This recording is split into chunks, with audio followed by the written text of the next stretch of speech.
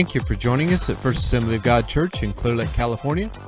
Please welcome Reverend Loren Freeman. This message was delayed to be released specifically on today. There are no coincidences in our lives. None. Today is December 22nd of 2021. That is 12 22 20 21. That's today. Yesterday was December 21st, 2021.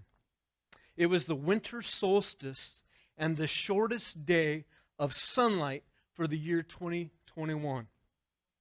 It could also be considered the darkest day of the year. From t- it's a spiritual message. Stay with me, buckle up. It's going to. Listen. Yesterday was the darkest day of the year. From today forward, in the time, the days will begin to increase in sunlight naturally. I believe they will also increase in spiritual light over the next six months. I believe you are in store for the most exciting time this world has ever known. People that were not born right now are going to moan and groan because they're not alive right now. This is exciting times to, exciting times to be in. So tonight's message is literally titled Liberty or Freedom. It is an attempt to shed some light on the year ahead, 2022. About four weeks ago, during prayer with the prayer team, we were specifically praying for Pastor Chris's message about opening the door. I saw two images of the Liberty Bell side by side. I didn't understand what the pictures meant at that time. I saw two bells. They were definitely the Liberty Bell. But I have continued to pray about it and ask the Lord to reveal more of it to us. During that time of prayer, I felt the spirit, in my spirit, that we as the prayer team were to pull on the ropes that ring those bells. There's two of them. I felt we were to actively participate, actively participate in what was going on in the spiritual realm and begin to ring these two bells. I heard the Spirit say one of the bells is named liberty and the other bell is named freedom. We began to pray and ring these bells spiritually for the next few moments. Since then, I have continued to do more research and see what the Lord wants to reveal to us. I looked up the image of the Liberty Bell. I found a website that described the Liberty Bell, and I'm going to share some of that information with you tonight. There's a picture above my shoulder of what the Liberty Bell actually looks like. The Liberty Bell is recognizable for its crack. The Liberty Bell remains significant today for its message of liberty. The Liberty Bell bears a timeless message. Proclaim liberty throughout all the land unto all the inhabitants thereof. This message is actually inscribed in metal on the Liberty Bell. The State House bell, known now as the Liberty Bell, rang in the tower of the Pennsylvania State House. Today we call that building the Independence Hall, where the Declaration of Independence was signed for this nation. I'm talking to some people tonight. You need to get this. Speaker of the Pennsylvania Assembly, Isaac Norris, first ordered a bell for the bell tower in 1751 from the Whitechapel Foundry in London. That bell cracked on the first test ring.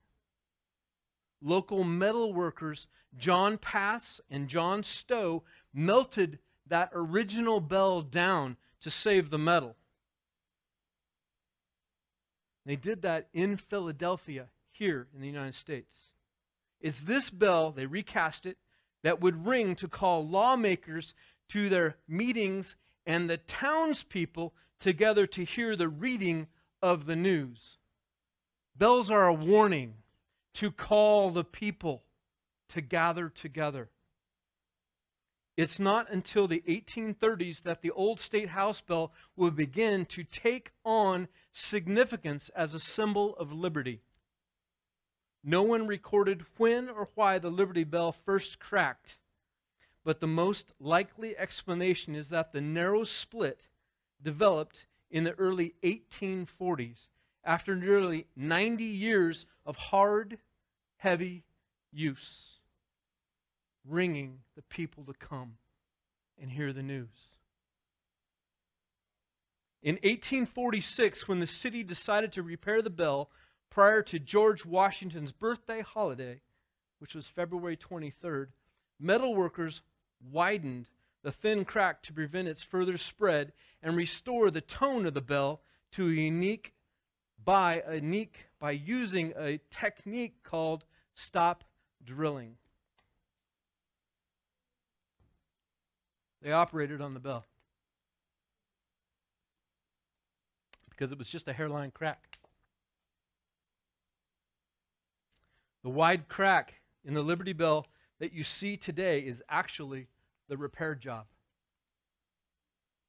If you look carefully, you will see over 40 holes that were drilled into the bell in this crack.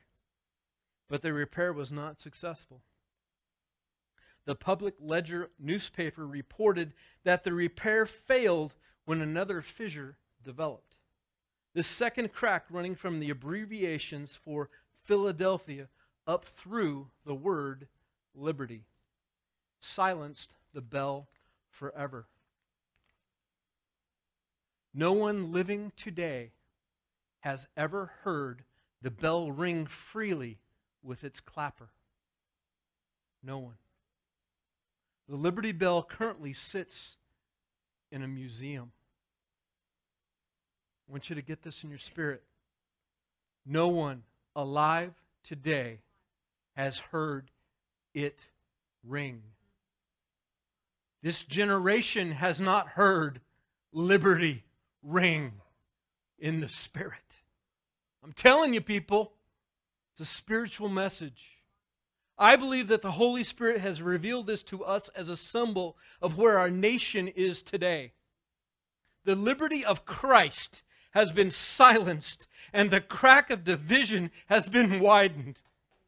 In addition, some are trying to keep the church in a museum.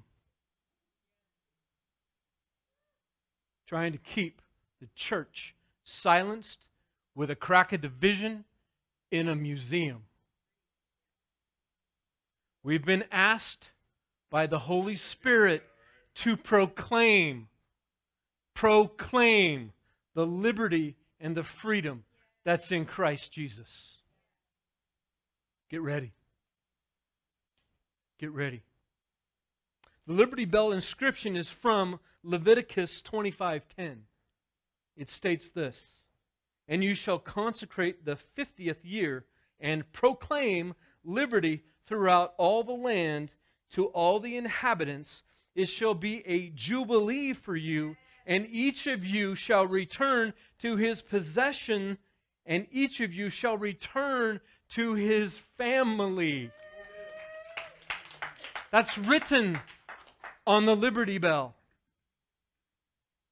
This verse refers to the Jubilee or the instructions to the Israelites to return property to free slaves every 50 years.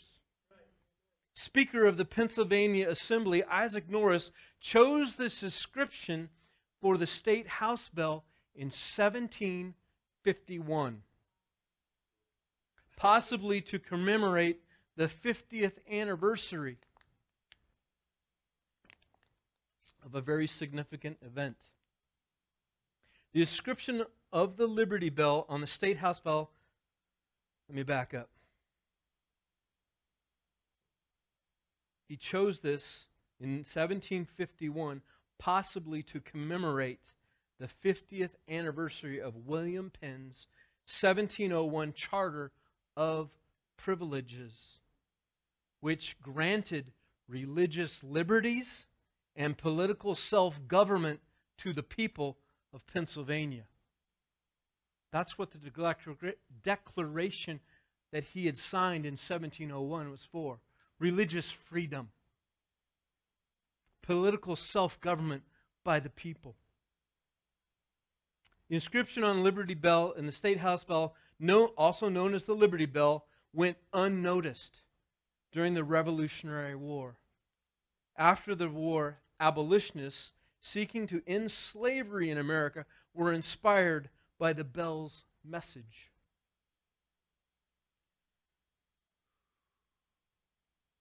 Liberty in Hebrew is the word deror. Strong's word number 1865 it means freedom, liberty, release, setting free. Jesus used this exact same word, liberty, in his very first sermon and quoted Isaiah 61 1. Anytime the Bible has a first mention, you need to take note of what was spoken because it is very important. In, in Luke 4 17 to. Uh,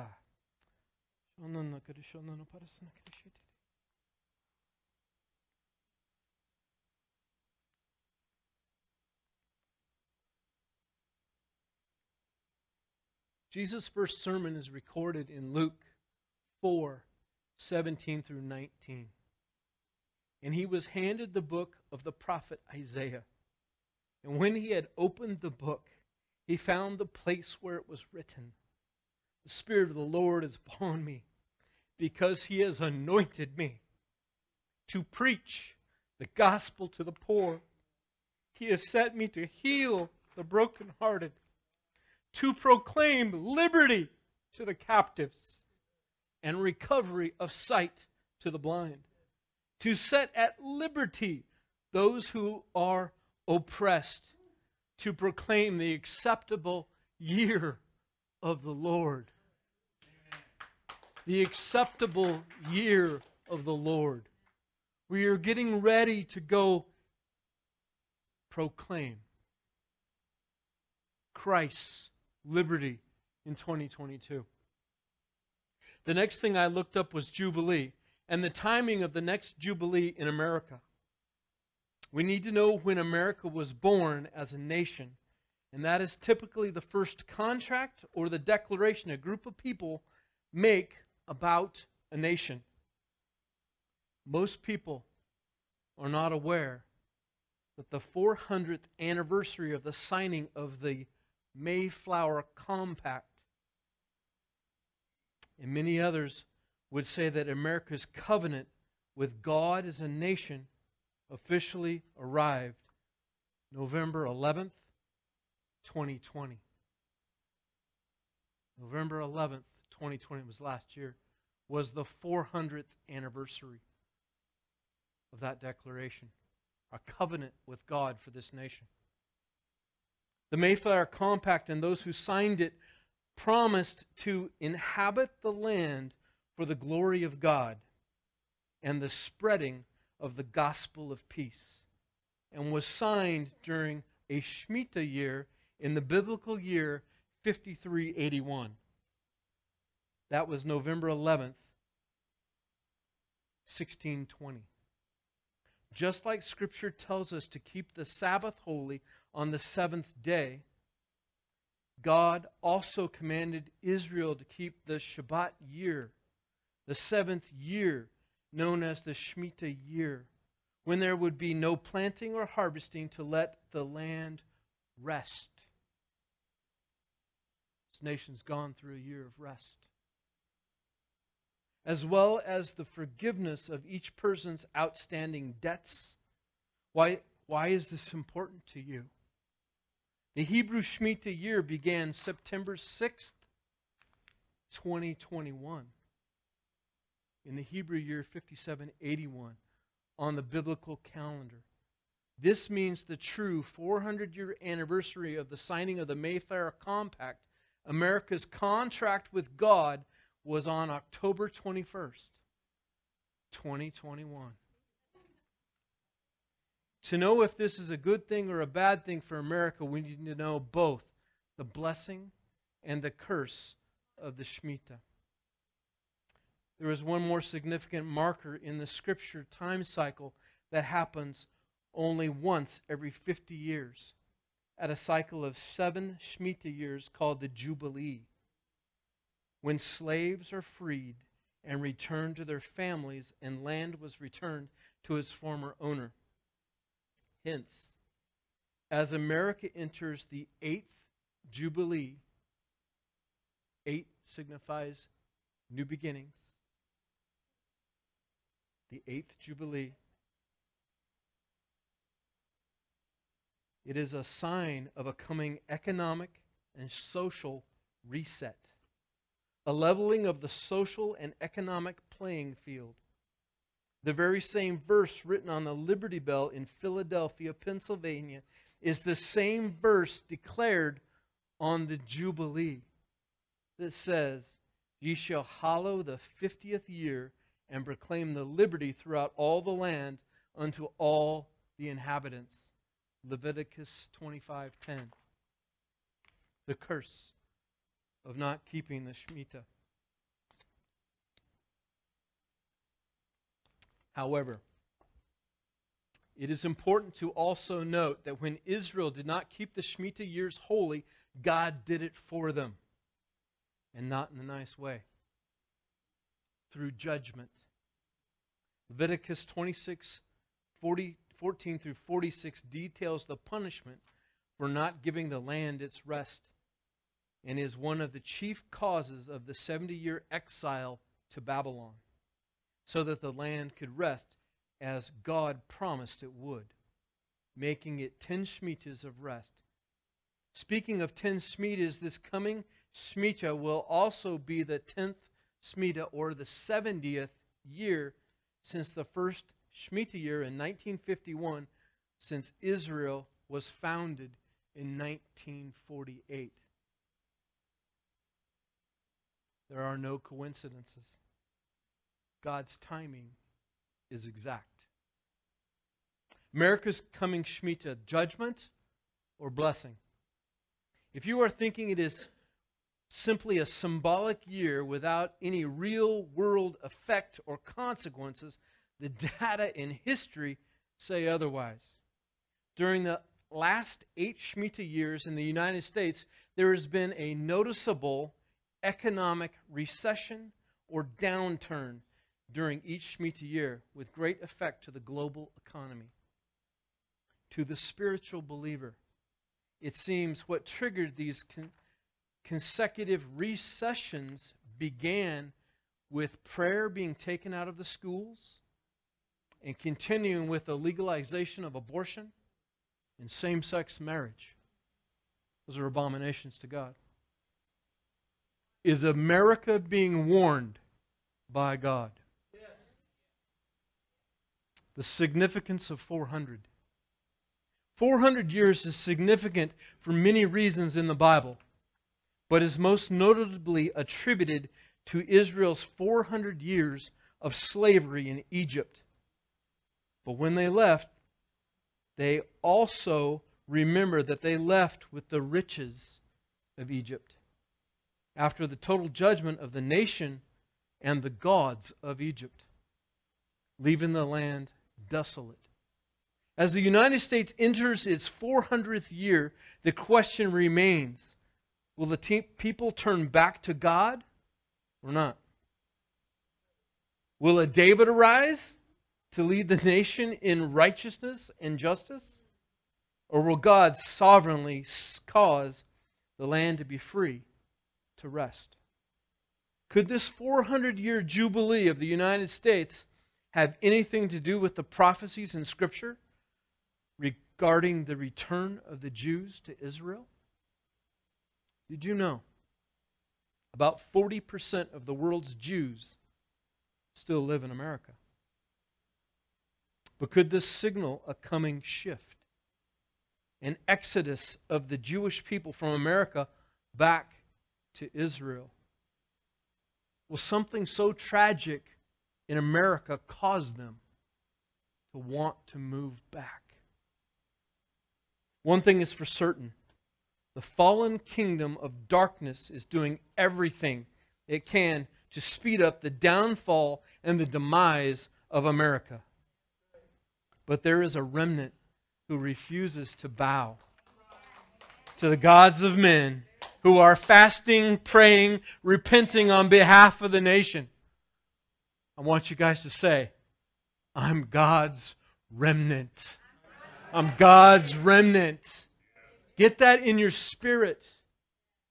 It is certainly an Elijah moment in America where the nation is being forced by God to decide who they will serve. Are they going to serve Baal or the God of Israel? Let's look both the year 2022, called the Gregorian calendar, which began with the birth of Christ, and the Hebrew calendar year 5782, which started with Adam. There are two calendars, two systems at the same time. The Jewish New Year 5782 began in September of 2021, just a few months ago.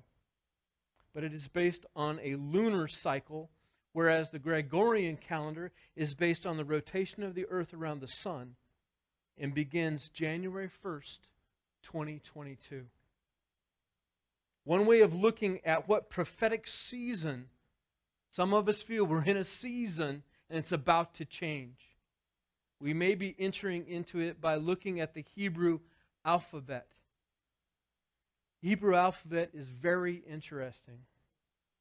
There are a total of 22 letters in the Hebrew alphabet, and each letter has a phonetic sound, a shape or a picture that goes with it, a word that identifies that letter, and a numerical value, all in this one system called the Hebrew alphabet. For example, A, Aleph, has the number 1 associated with it. B, or Bet, has the number 2 associated with it. The 22nd letter, get, get your mind around this. The 22nd letter in the Hebrew alphabet is the letter Tav, with a gematria numerical value of 400.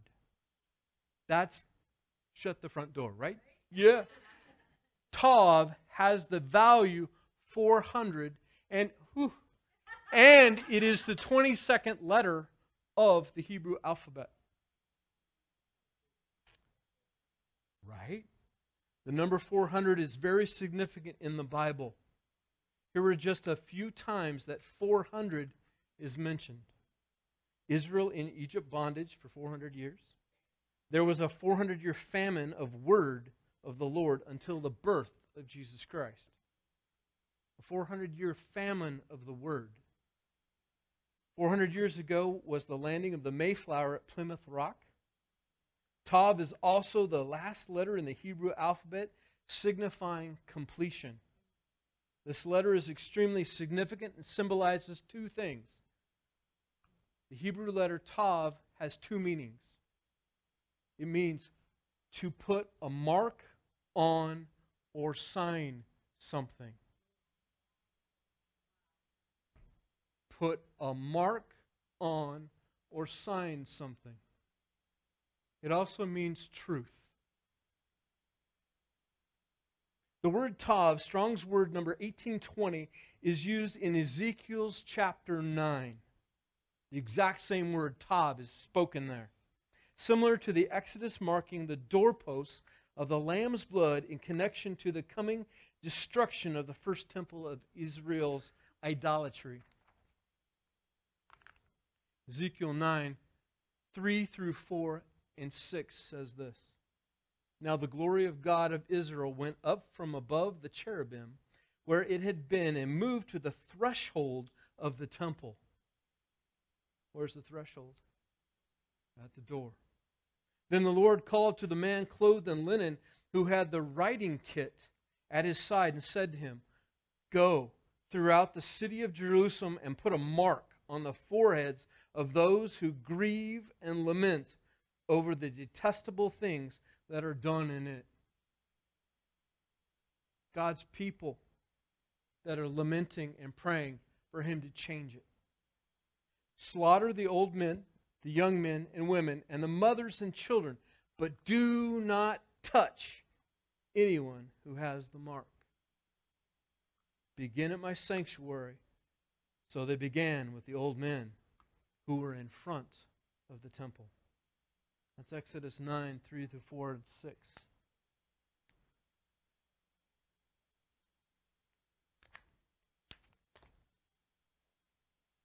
This is the passage Peter also related to in 1 Peter 4:17. For it is time. Say it is time. It is time. For judgment to begin at God's household. And if it begins with us, what will the outcome be for those who do not obey the gospel of God? The number 2 in the Hebrew alphabet is bet. The Hebrew biblical, the Hebrew Bible actually begins with the letter bet rather than aleph. And the picture or the pictograph of bet symbolizes a house. Should be a picture of it behind me. The letter bet can also symbolize and mean duality, two things going on at the same time, otherness, and a paradox, a change. Now, pay. The letter pay represents the number 80, and it is associated with the decade we are in. 5782 is the Hebrew year we're, we're entering into. So you need to look at the letter pay. It has the number associated with it of 80. Pay symbolizes the meaning mouth. There is also a hidden letter, bet, the number two, inside this letter that's hidden. Within the letter pay, which symbolizes an unveiling or a revelation. There's two systems that are going on right now the world and God's spiritual realm. The world is trying to silence the church. The world is requiring you to wear a mask and cover your face and your mouth. God is telling us to proclaim and to speak forth truth and His light. Therefore, in the context, the year 2022, or 5782 in the Hebrew, will begin with a marking of the truth, beginning with the house of the Lord, the church, and will move outwardly 2022 is also a Shemitah year, the seventh Sabbath year of rest. All of this is colliding together at the exact same time. We are therefore literally witnessing an end of something and a beginning of something else. A person will be marked and defined by the truth according to which side you belong on. Are you going to be marked as belonging to God? Or are you going to take the mark that the world wants you to move freely about with? For some, there will be great deliverance, as there was in the events of the Exodus Passover, or for those during the prophetic Ezekiel's time of the first temple who were marked and spared disaster. God's chosen are going to be marked and spared disaster. This can also symbolize a great unveiling, as in a revelation of the truth leading to a revival. We're in a famine of God's Word. The most illiterate generation when it comes to biblical context ever. For others, there will be a great time of trouble and despair and can represent an unveiling or exposure of corruption evil agendas, and lies. In addition, in addition, the 20 it gets better. In addition, the 22nd letter of the Hebrew alphabet is Tav, like I've already mentioned. And it also has a numerical value of 400. The letter Tav looks like this. Should be a picture above my shoulder. It's a picture of the doorposts and is used describing the blood of the lamb during Passover. It's also the number for 22. It also means the mark. It's also the symbol in Ezekiel that they wrote on people's foreheads, whether or not they would be destroyed or they would not.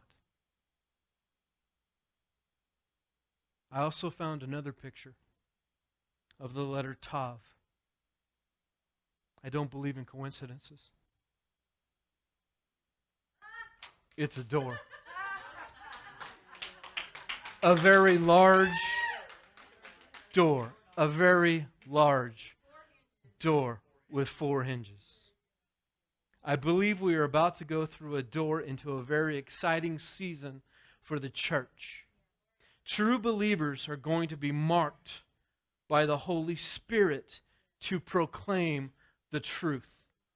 I also believe the Lord has asked us, His church, to ring in the new year of 2022 with the sound of the Liberty Bell. So Nick's going to get that ready. Thank you for hanging in there. I know it's a long message. We are to proclaim liberty throughout all the land unto all the inhabitants thereof. Please stand with me and join with me as we pray for our nation. We pray for the people that Jesus that need Jesus and to proclaim 2022 as the year of the Lord. On December 31st, 2021, the clock will strike 12 times.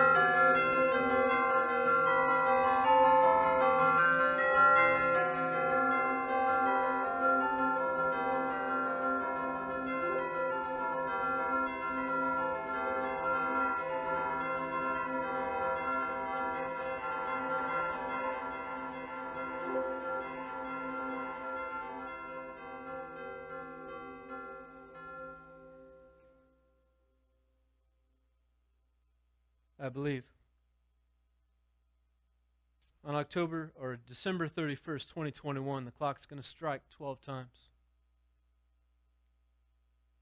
At midnight, signifying the new year, we are to proclaim Christ in 2022. We're to wait on the Holy Spirit for what He wants to do. The altar team's up here. We're going to do an altar call. So if you need anything, if you've come here tonight expecting the Holy Spirit to show up, He's here.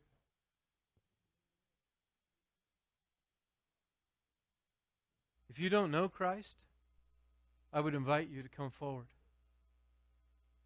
We'll say a simple prayer with you